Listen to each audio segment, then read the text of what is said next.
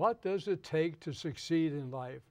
From being discovered in a body bag alive in Vietnam by an alert medic to achieving national recognition by two United States presidents, our guest today, Urban Miyares, through his genuine enthusiastic zest for life, motivates and inspires us to attain success by giving something back to society. Welcome to Pace TV, Urban. Well, thank you, Jack. It's a pleasure to be with you. The first thing I have to ask you, because this body bag mm. is something that you don't you don't think of or discuss too regularly. Tell me tell me about that body, that body bag in Vietnam. Well, it's uh, it probably happens more than people expect. I recently talked with uh, a soldier just came back from Iraq, who too was in a body bag before they found him alive. And when you're in a battlefield situation and something happens, uh, the first duty of those who are in the back to take care of the wounded and the dead is to get them out of the area. Mm -hmm. So throwing them into a body bag, uh, especially if there's no immediate uh, recognition of life, uh, is critical. Well, uh, also I'd like to touch on the two presidents, the award that you received. Mm -hmm. Could you tell us a little about that? Oh, that, that's quite an honor uh, to be in the White House, and especially when you have lunch with the presidents of the United States. Uh, Fortunately, with uh, George W. Bush, uh, twice uh, met with him in 1991 through a national honor I received from the Small Business Administration. And then in 1992, I was honored to receive the Presidential Point of Light, which is a, a bit different than the Thousand Points of Light, which most people know about. Hmm. And then later on in 1995, uh, President Clinton uh, asked me to be his representative at the White House Conference on Small Business. Mm -hmm. So it's quite an honor. Mm -hmm. Well, I certainly think so, and, and probably muchly well deserved. Uh, now, here you, you're out of Vietnam, right? And now uh, our country certainly did a very, very bad number on of those people who participated, our soldiers in Vietnam. And how do you, you find yourself at that particular point in your life? Coming out of Vietnam, and where are you now? Well, it's rough. Uh, 20 years of age, disabled. The doctors at the Veterans Administration uh, said that I had at best 20 years left of productive life if I even lived that long. And after almost six months of being at Valley Forge uh, Hospital in Pennsylvania, uh, I was discharged, uh, discharged from the hospital, stayed at home, and then a few weeks later got my discharge in the mail. You know, welcome home, vet. -huh. And fortunately, I had a friend who got me a job working in New York City and Wall Street, where I lived at the time, and worked there. And it wasn't long before uh, they found out I was a Vietnam veteran and fired me. And fired you. Because I was a Vietnam veteran, or as they said, a baby killing Vietnam veteran. And that's when my business career started because mm-hmm. mm -hmm. my wife was pregnant. Uh, we had to, I had a, a family to support. I didn't know I could receive all these benefits. No one told me about it. Probably if I knew about all I was entitled to, I wouldn't be here. Hmm. So with a neighbor who was also unemployed, we started a business. So, and that was 40 years ago. But prior to that, you did you have any work prior to that before you selected self-employment? Well, I had uh, I had been sort of self-employed prior to that. Uh, growing up in New York on the streets, uh, constantly selling goods was uh, a way of life or survival at the time. Did you, uh, did you have any barriers that you encountered uh, being self-employed?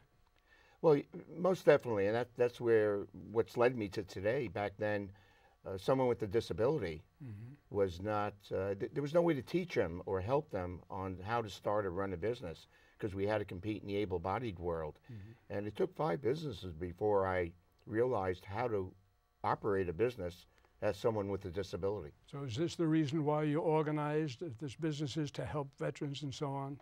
Pretty much so. I was just so frustrated. I, I was angry, and I said, one of these days, I'm going to help others, but I had to prove first how it could be done. Mm -hmm. And it took a number of years before that opportunity came. Well, what issues do severely disabled veterans face? Well, first of all, with the disability, uh, the business world's able-bodied, and we have to compete on their level. And when you have a disability, there's a separation between you and everybody else. If you take the profile of the ideal person with a, in business today, it's not a person with a disability. Uh, just like women in business see a separation. So with the disability, that gap of separation is even wider. So we have to learn how to close that gap as a business owner so we could compete on the same level. We're not even recognized as disadvantaged by the federal government in business having a disability, irregardless of how severe it is. So, So, that's that's the main problem. so, so what are the disadvantages of the disabled in business? Well, one is uh, most of the time we don't come from the financial resources that others in business do. We don't have jobs because of our disability. We might have poor credit or no credit at all. Uh, we're living, uh, you know, based on public assistance in many cases. So we can't start with the normal traditional mode that lenders and others expect us to start in. Uh, how many disabled veterans have you helped uh, uh, up until this present time? Is there a, a number that you could relate to that, or give me a broad uh, idea? Well, our on that? database shows 24,000. You know, how many I've helped, it, it's, it's little, it's a little strange because mm-hmm. sometimes I'll have a vet call me up and say, how do I do this? And I just give them a suggestion over the phone and they go gangbusters. Mm-hmm. And then other times I'll get someone that calls and we work with them a lot of time, energy, phone calls, mm-hmm. meetings, and they never do anything. What, what successes are you proud of? Well, the success I think I'm most proud of are those that really change their life and find the value of going back to work. Mm. Uh, work, regardless of how much you get paid, is part of our culture. It's part of giving back to the community. And when you don't work, to me, you're taking from the community. So working is a form of giving back. Even if you volunteer, that's a form of work. Mm-hmm.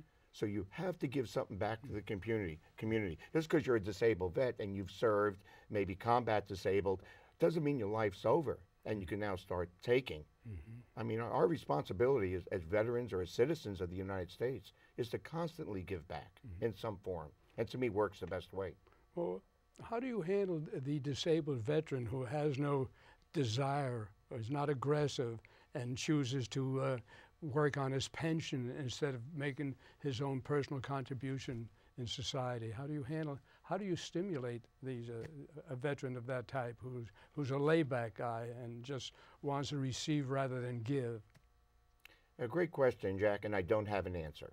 Uh, and I don't think anybody does. You know, we, we all have different personalities based on our background, our culture, or what we went through in life. And sometimes it's it delayed. Sometimes today they might not feel like they want to give back anything, but things change. Uh, how I try to motivate them if they want to improve their health, enjoy life more, uh, just have better relationships, uh, just just take the zest of life out. Uh, they have to do something, and sitting back is not going to do it for them. Uh, you, you're familiar with Dr. McFarland and re- rehabil- rehabilitation? What is- what is your relationship with him? Now, Dr. Fred McFarland and I go back uh, about 15 years. You know, we run parallel courses. Him being an educator at San Diego State uh, University uh, Interwork Institute, they deal with teaching mostly professionals how to become voc rehab counselors and work for the Veterans Administration as well as uh, other government agencies. And I work parallel. I work with the consumers who these voc rehab counselors work with. And now working with Fred uh, over these uh, last 15 years, it's opened up a whole world where I could educate voc rehab counselors on how people with disabilities can be successful in self-employment. Uh, I'd like to take a few moments now and uh, listen to what uh, Mr. Mc, Dr. McFarland has to say. Right. My experiences working with Urban Miyares are at about three different dimensions. First, as an individual who has been a private business person who has been extremely successful in a number of avenues uh, over his entire career. A second aspect has been his experience in the military as, as a veteran uh, and as a strong and forceful advocate for veterans becoming fully reintegrated in the community, especially veterans with disabilities. The third area was, is as a sportsman. And when I, when I look at Urban from that perspective, he has been able to integrate all of those other aspects. He engages veterans with disabilities in his sports activities. He engages individuals with disabilities. And then he's been able to demonstrate it himself, both from skiing as well as his Challenged America activities, uh, as well as his passion for making sure that every individual has all of the chances possible in their lives. Over the last few years, and by the way, my relationship with Urban goes back probably close to 15 years. Over the last few years, he's become increasingly committed and passionate about working with veterans, especially veterans with significant disabilities, either service connected or disabilities after uh, they've left the service. Uh, he brings his, his own experiences as both a veteran, but also as a person with a disability to the table. And, and as I've watched him work with individuals, with veterans, he really engenders an amazing amount of compassion for people, uh, and that comes across. But he also ties it with realism. Uh, Urban, uh, Urban doesn't sugarcoat things very well. Uh, he, he's very straightforward in his interactions, and his advice and guidance is always, at least as I've observed it, very accurate and very powerful. As I've talked to Urban over the last four or five years, one of the, the areas that he's begun to explore, and I would fully support, is he needs to, to write his story. He needs to get his story out for a number of reasons. First, it's a pretty phenomenal story. Second, we all need role models and we all need people to look up to. Urban's somebody that fills that role. And finally, he really does have a real good understanding of what it takes for a person to succeed with all levels of adversity. He can speak from it from a personal and passionate standpoint, as well as a lifetime of experiences helping individuals. For me, he's the ultimate professional. Urban, the question I'd like to ask you now does the government or the military offer any financial help in any manner, shape, or form? Actually, no, none whatsoever. We're basically uh, all volunteer organization, have been since 1985, and we have five programs that we support and sponsor. Most of our funding comes from the general public uh, through donations, and then when I do presentations or speaking fees. But uh, we're probably self-sufficient. It'd be nice. Uh, the amount of work we have would uh, we could definitely hire. We could put 10 to 15 people to work right away, and funding uh, for us as well as old charities is uh, a challenge today. Mm -hmm. Well, I guess everybody's reaching out for it, but I think the, the disabled should be first in line anyway, in my in my opinion. Uh, I know that you are a great uh, boatsman. And uh, could you elaborate a little bit of what you've done in the past and what you're doing today? Well, you know, when you have a disability, an example, I'm total blind, I'm hearing impaired, post traumatic stress, uh, walking paraplegic, uh, diabetes, a number of other medical conditions, rehabilitation never ends. And studies have shown, and it's demonstrated time and time again, those with disabilities who do best in the workplace financially uh, and are more active tend to have an active recreational or athletic lifestyle. So sailing uh, tends to be a, a, sport I love. I did it as a child. And one of our programs is Challenged America, where we take people with disabilities, uh, disabled vets, put them in a sailboat and show them how to sail and get that new life experience. And then hopefully when they get out of the boat, we could talk to them about going back into business or going to work or back to school. Mm -hmm. I know recently you acquired a new boat. Could you wow. tell us a little, a little about that? Uh, what a shock this was. Uh, a gentleman, uh, husband and wife in San Diego, Brian and Suzanne Hull, uh, had a very famous racing sailboat. Uh, practically new. They kept it as a gem. And they decided to donate their boat to us for our use. And we, we just received the boat a few weeks ago. We have to modify it for the disabled, including putting an elevator so those in wheelchairs or those who have no legs could get down below. And uh, we're going to get it going and hopefully race it to Hawaii next year. Do you encounter, I know you had one, you had one major experience on your previous boat, maybe more. Did you have any difficulty? What, what did you experience at the time for the people who were disabled, of course, and how did they handle themselves on that particular trip?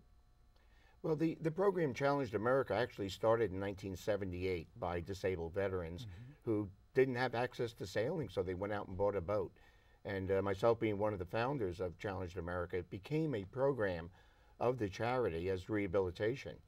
And the challenges we are quite extensive because when we race, we race in mainstream sailing. Uh, we could be at the starting line with the top skippers in the world, America's Cup skippers and we have to compete on their level, and we do quite well. Uh, so we have to modify the boat, and we focus on teamwork. There's mm-hmm. no rock stars or super sailors on our boats. Everybody has a teammate that works a specific crew position together as a team. That's the point that I was trying to uh, make about what is the training? How do you train the disabled with all their disabilities and to make them so cohesive that you have this wonderful team that uh, applies to how you're doing that race. Yeah, it's, how, it's, what's the training? How, how's that done? Yeah, it's quite a challenge. You know, boats aren't designed for the disabled. That's, that's and we sure. have to adapt to that, just like life. We have mm -hmm. to adapt uh, to life. Uh, and it takes a lot of time on the water mainly and a lot of experimenting. Mm -hmm. uh, we don't know what'll work and what will work for one person who's blind might not work for another person with the same visual uh, limitations. Mm -hmm. Someone who's a paraplegic or quadriplegic might have completely different needs than someone else who's a paraplegic or quadriplegic. Uh, disabilities don't come in a square box. Uh, what what ages are these people? Does does age make a difference? Generally, no. Uh, we say we take youngsters from five years of age to 95 years of age, and we've had that uh, that range of disabilities and ages uh, in the program. Again, we customize for each individual and what they want to get out of the sailing experience. Mm -hmm. Now these these sailors that you use, these one that trained you, use a new crew, the new ship that you have or boat that you have now. Are you going to use the same people, or now you're going to train new people to uh, get into that positions? Well, one of the responsibilities we have of anybody who goes into the program, they have an obligation to the next generation, whether it's kids with disabilities or someone that's replacing them on the boat or even in business. Succession is so critical uh, in business today. And, you know, let's face it, us with disabilities, our life expectancy in most cases is not as long as someone without a disability, uh, supposedly. Uh, things are changing now with medical science.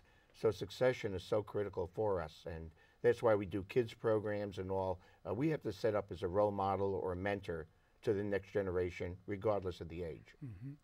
Now, where do you keep this boat uh, that, that you're going to use? And have you had any experiences with the people who own the uh, areas of storage and so on? Have you encountered any discrimination or anything of that nature because of, of the crew that you use and, and the things that you're trying to do?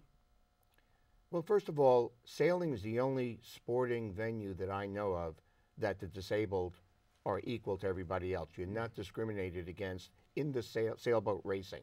When you're at the starting line, you're like everybody else, and if you qualify with a, a boat that's good seamanship and, and the crew is able to take care of a boat uh, and themselves, uh, anybody could win a race. Mm -hmm. Wind, tide, and experience dictate that.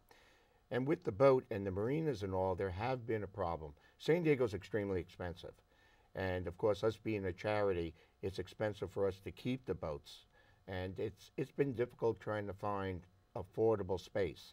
Unfortunately, those spaces that are more affordable are not accessible mm -hmm. uh, for a number of reasons. You got to look at it. We serve people with the most extreme, catastrophic of disabilities. People who are in ventilators, people who have no body movement whatsoever, are sailing sailboats in San Diego today, as well as going into business and doing other things in the workplace. So uh, we, we put a test on everybody.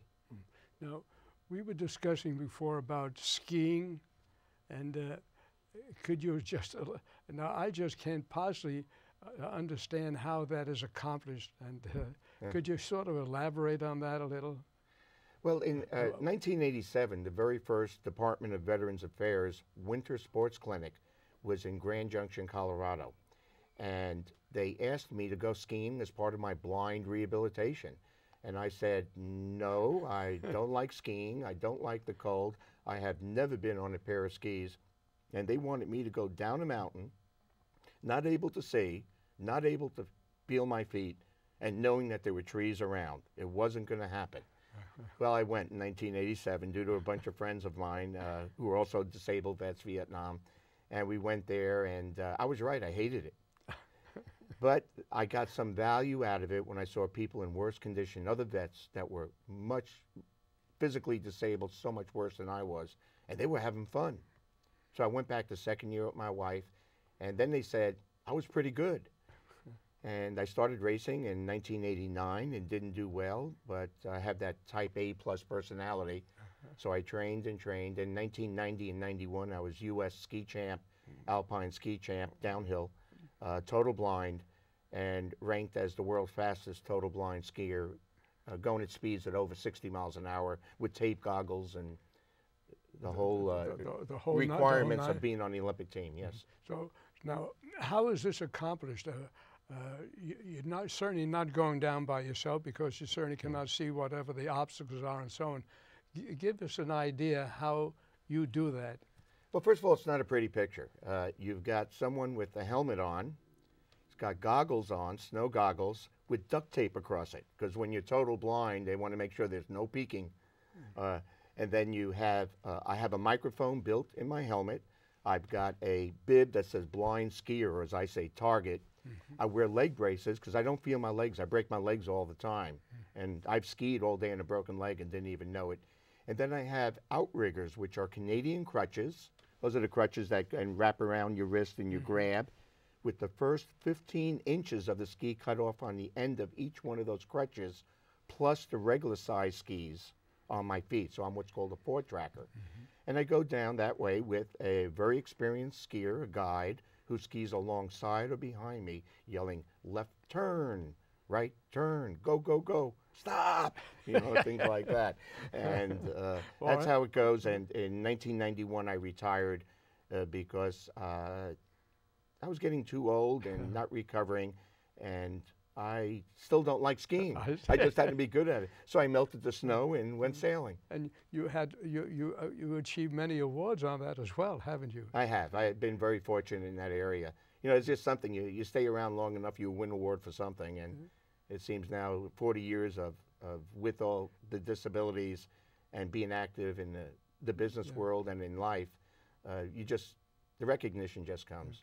Are you aware of any other competitive sports that the disabled participate in? Oh my goodness, it's everything. Uh, they either s- separate themselves, either they'll compete against other people with disabilities, or they'll go into uh, sporting events, track and field, swimming and all, against those without disabilities. And there's quite a controversy going on right now due to prosthetic limbs, where uh, athletes, elite athletes with disabilities, having artificial legs as an example, are on the verge of breaking world records by the able-bodied. What do you what do you uh, look forward to on the future disables? We, you know, we've had many wars, as you know, and we have certainly. Uh, these people have been treated on these spots, so their lives have been saved, but they have brought in some huge disabilities. How do you look at the, the future of this disabled? Well, it, it's changing dramatically. Technology, medical health care, uh, and everything related to the disabled. Just over the last five or ten years, we're doing so many things now that uh, today, you know, years ago wouldn't even be considered. So what's going to happen is that the public is our, still our biggest battle. People have an attitude of what we can and can't do. When they hear about myself skiing down a mountain at 60 miles an hour, or crossing an ocean and sailing to, to Hawaii from Los Angeles in a Transpac, uh, first time ever done. We've done it twice already and hope to do it again with an all disabled crew quadriplegics, paraplegics, and blind, and racing and doing quite well. Uh, the public has to realize that we're not to be patronized. Give us a chance, we'll achieve it. Uh, look at us for employment. When you see us in business, we might be a darn good business person you want to do business with. And as a consumer, if you see somebody that's in business with a disability, don't try to discount it. They probably have good products we have to work harder just to prove ourselves in life. So the disabled, it, it's come a long way. Uh, attitudes still have to be changed. Uh, the laws are a mixed blessing. Uh, they're, they're really not uh, helping us in some areas and helping us in others. Uh, it's, it's something that's going to go even farther and farther. And just remember, we have a saying in the disabled community live long enough, you'll be one of us. Uh-huh. So when you look at us sympathetically, uh, look in the mirror. It might be you too one day. Well, you know, you tick off all these things that, uh, uh, that you're so capable of doing as a disabled. Those of us who have all our facilities, our limbs, our eyes, and so on, we hesitate much more so than you have had those disabilities. So it's really something that uh, that is mind-boggling to Yeah. me. But Well, uh, well, well. You know, Jack. The, the thing is, you know, I have a disability. Everybody else that thinks that way has a handicap.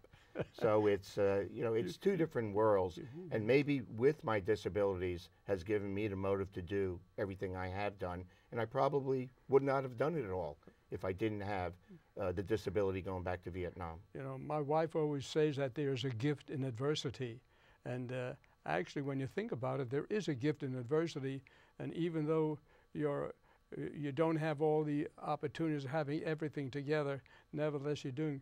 But you know, I just want to thank you so much, Urban, for participating in in this program and uh, giving us a little bit of your history and giving us about your successes. Uh, to me, it's mind-boggling that you are capable to achieve the successes that you do with, with, with the handicaps you have. And for those of us who have no handicap, we are about 50 yards behind you all the time. So you've risen to these occasions, and uh, I can't possibly I can't possibly thank you so much for sharing and letting our people in on your life. And we have more, much more respect for you, and we certainly are aware of uh, of the intricacies of, of what you're doing and how you're doing it. It, it has a lot of courage, a lot of faith, and uh, and I think uh, you have the strength and capacity to to do what you do what you're doing.